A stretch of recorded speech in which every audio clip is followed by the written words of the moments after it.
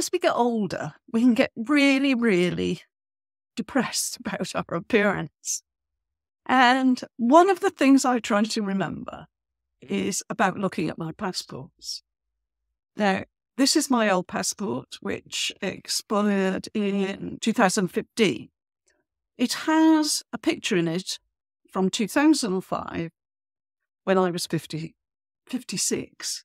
And I mean, I remember at the time I hated it. We all hate our passport photos, don't we? But now, looking back on it, um, to, yeah, 15, 16 years later, I look quite good then. You know, I didn't, I didn't look bad at all. So this is my current passport. And this has my picture that was taken in 2050, so six years ago.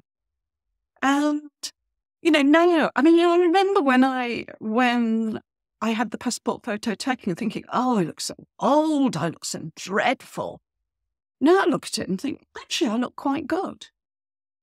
So when you're feeling bad about yourself, try, try to remember your passport and just think, in 10 years' time, looking back on this, I'll think, I looked okay.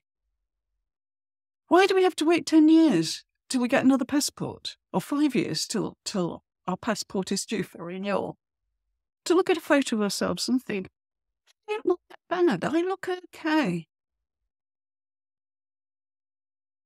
Yeah, that's what you need to do. Just remember your passports when you're being hypercritical of how you look.